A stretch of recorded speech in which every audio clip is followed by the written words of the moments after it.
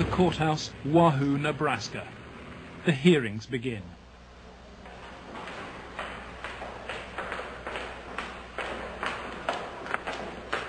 Alisha Owen is ready to testify.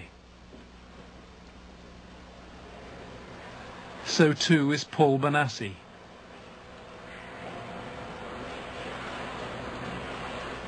But there is no sign of Troy Boner.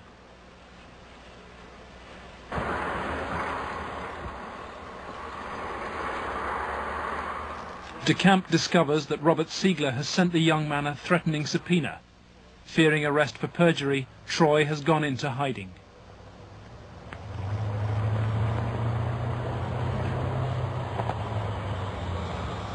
Just try and subpoena with all these stuff. Is Troy okay? Yeah, he's okay. They're just not going to have me testify after he does. Okay, Troy's not here. Where's Alisha? No. She's in there. In court, DeCamp successfully pleads for another adjournment. The county attorney's office begins to search for Troy Boner, but Robert Siegler won't say why. ask you whether you're about to charge Troy Boner with perjury. Oh, no, Why isn't why no comment, Mr. Siegler? You're a public official, aren't you? Mr. Siegler, is it true you are about to charge Troy Boner with perjury? No comment.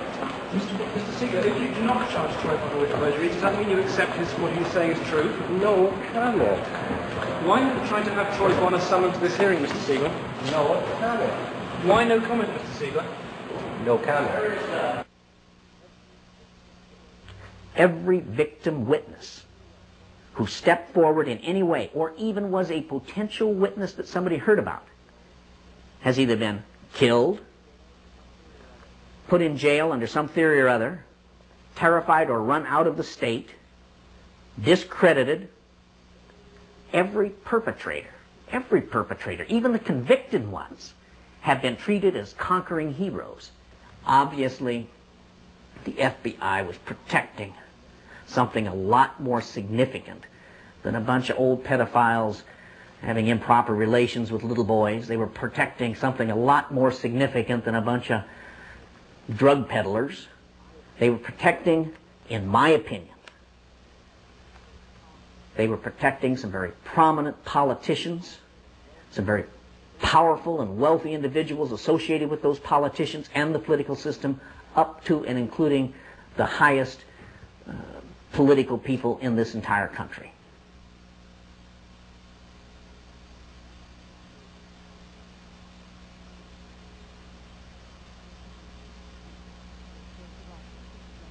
In search of answers, John DeCamp goes to Washington to investigate Larry King's powerful connections in the nation's capital. Paul Bonacci has come too. Larry King threw child sex parties at his $5,000 a month Washington house. Paul Bonacci was one of the victims.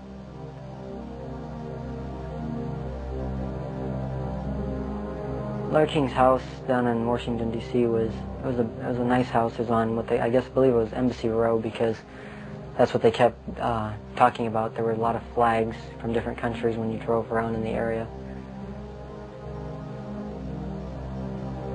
So tell me, Paul, how often did you come here? I was about 14, about 1981, and at first it was about three or four times the first year. After that, it was about once a month. After 81, And who brought you here?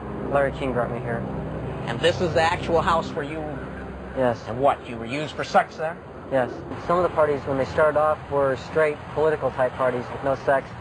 And then when some of the men had left, some of the politicians had left, the ones that had planned, they had planned on uh, engaging in some type of sexual activity, uh, that would come after the party. Some of the kids would be held downstairs in some of the rooms where if they acted up or if they started freaking out because of the drugs that they were on, they'd put them in a room that they couldn't get out of and they'd lock them in. Were there drugs at these parties? Yes. What kind of drugs? Anything you wanted, cocaine, uh, heroin, speedballs. You're telling uh, me those speed. things were at these parties where you had Larry King and prominent politicians. Yes. Were they readily available to anybody at the party? They At the after parties, they were ready to label for anybody. Beforehand, they did it more uh, upstairs than they did anywhere else, and it was kind of in the back rooms. Were any attempts ever made that you know of to uh, to expose this situation? As far as I know, nothing's ever been done, and most of the people that were in there had already been, I guess you say, compromised. King's partner in sex crime was powerful Washington lobbyist Craig Spence. He took youngsters like Bonacci on midnight tours of the White House. So you were in the White House then, Yes. and how how did you gain access? Well, I came down with uh, Larry King, but Craig Spence was the one that arranged the trip for us. And it was kind of a, a gift for our services that we were doing. How many times were you on this kind of a trip? I came to it on two times. Two times. And were you used for sex on those occasions? Not until after we left. After you left the White House? Yeah. What It- time of night? It was usually around uh, midnight.